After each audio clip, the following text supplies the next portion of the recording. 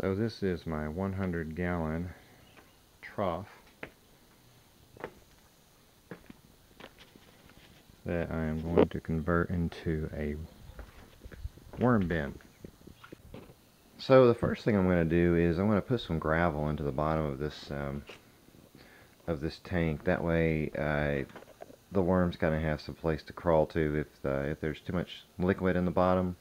Um, I also built a screen or a frame uh, out of 2x3s and I uh, cut some grooves into the bottom of it.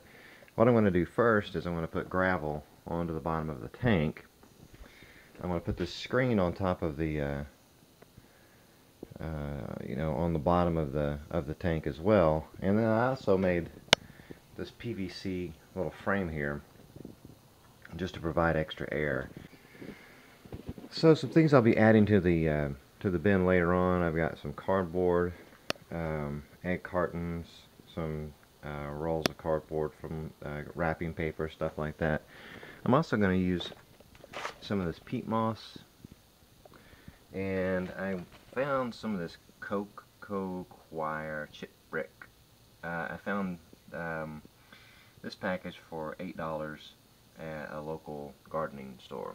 I'll also put some compost in there as well. So the first thing I'm going to do is I'm going to put it on this uh, extra deck that I have. Fortunately it's a few feet off the ground. And I'll put a couple of pieces of wood back here to uh, just some scrap pieces of wood to prop up the barrel so that it sits at an angle so it will drain easier. So the purpose of the screen and the gravel, the gravel is to uh, keep the worms from drowning, basically giving them something to climb on if they fall below the screen and uh, something that they can use to climb back up into the, the, the area where I want them. And uh, the other reason for the gravel is to keep the drain from getting clogged. So I want to put a pile of gravel uh, just around this drain opening right here. Actually I had to scoot some of the gravel away from the drain because I need to put in this little PVC frame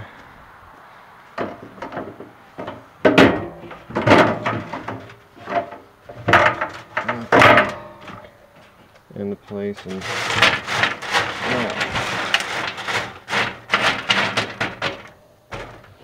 put those there. So I screwed my galvanized steel nipple and my uh, PVC uh, ball valve in there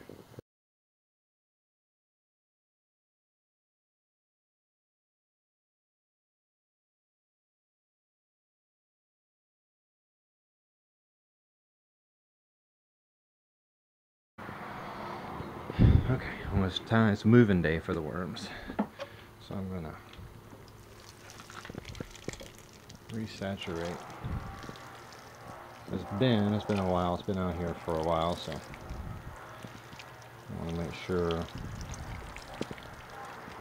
it's moist at least. Okay, water's coming out the drain. I think my base is saturated enough. Okay, it's moving day for my worms, and the worms will do it just fine. As you'll be able to see, they're all, you know, they're pretty, pretty happy.